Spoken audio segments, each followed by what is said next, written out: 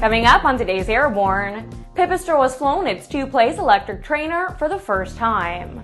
ForeFlight Mobile 6.3 is now in the App Store, and Wingfoot 1 ushers in a new era of Goodyear blimps.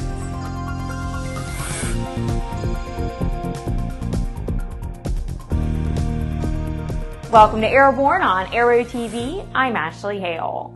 For the first time, Pippa Pipistrel has flown its two-place electric trainer. Tom Patton has that story. The company developed the airplane called the WATTsUp in partnership with Siemens AG, which provided the electric main propulsion components. The airplane is designed specifically to meet the needs of flight schools, including a short takeoff distance, 1,000 foot per minute climb, and endurance of one hour plus a 30 minute reserve. Pipistrel says the WATTsUp is optimized for traffic pattern operations where 13% of its energy is recaptured on every approach, increasing endurance and at the same time enabling short field landings.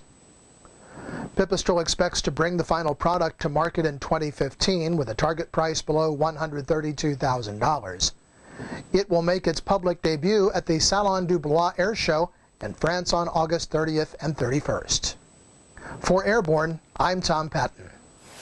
ForeFlight Mobile 6.3 is now in the App Store, and it has two new major features, Track Log and Weight and Balance. Track Log is a cloud-enabled flight recorder that allows you to capture your flight track data, upload it to the cloud, export it to third-party flight review and mapping applications, and share flight tracks with others. TrackLog is built upon ForeFlight's sync system and it makes track data available on all your mobile devices. The new weight and balance tool allows you to quickly determine whether your aircraft is loaded within its envelope. Weight and balance is preloaded with many aircraft models, and ForeFlight Mobile's Smart Setup Interview configures your aircraft based on FAA Type Certificate data sheet and service bulletin records. After the break, it's the beginning of a new era of Goodyear blimps. You're watching Airborne.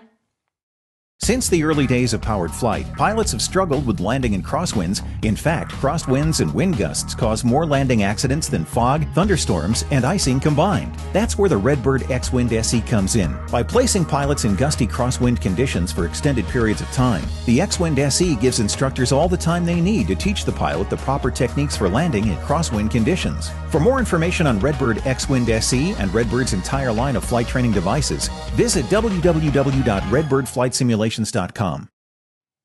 Welcome back. If you'd like to suggest a story for Airborne, Aero TV, our website, or our podcast, drop an email to news-by at aero-news.net. The newest Goodyear blimp, named Wingfoot 1, is the first of a new generation of airships. Manufactured by Germany's ZLT Zeppelin Company, and assembled by a team of Zeppelin and Goodyear engineers over the past 12 months. It represents the first major structural design change of a Goodyear airship in nearly 70 years. The new blimp features advanced onboard avionics and flight control systems with the capability to travel at faster speeds and hover in place. The spacious passenger gondola will provide an enhanced in-flight experience with sweeping panoramic windows.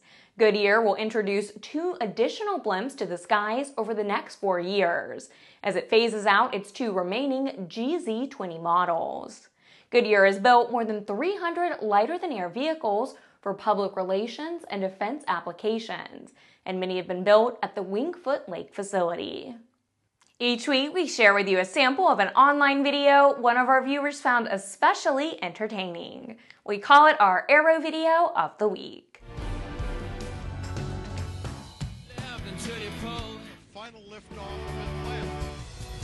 Well, after seven days of building the aircraft, we are ready for the first flight.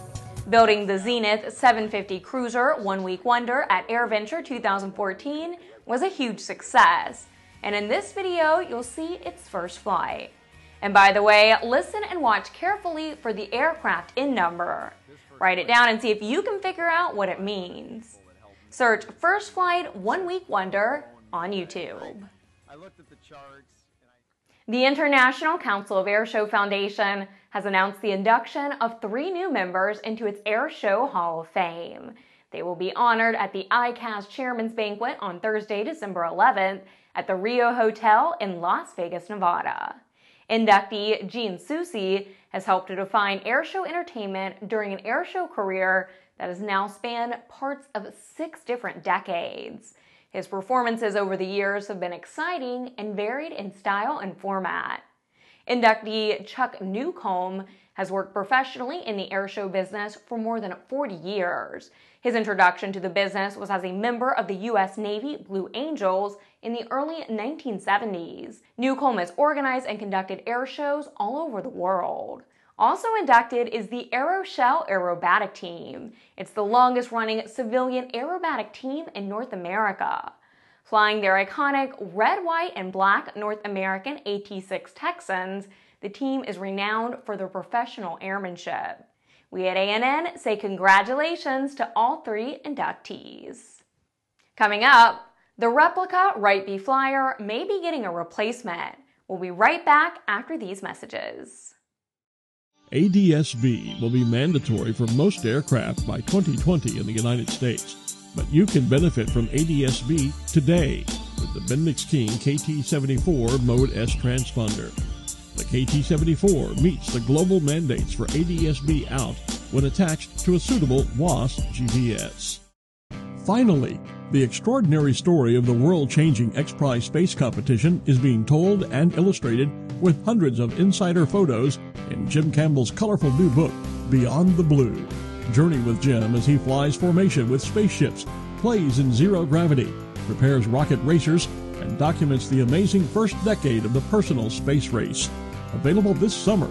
Get your advance order in now by checking out www.kindredspirit.com. Welcome back. Wright B Flyer Incorporated is an all volunteer organization that flies a look-alike of the Wright brothers' first production airplane. The not for profit organization has been flying the Wright B Flyer number 1, also known as Brown Bird, since 1982.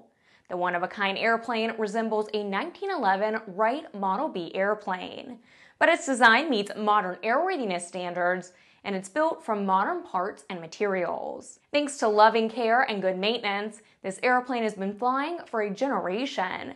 But Jay Jabbour, the Wright B Flyer president and acting chair, said, quote, we're thinking ahead to the next generation. Eventually, we'll need to replace the brown bird with a new plane. To ensure continuity of our mission in future years, we're beginning the replacement process now. End quote.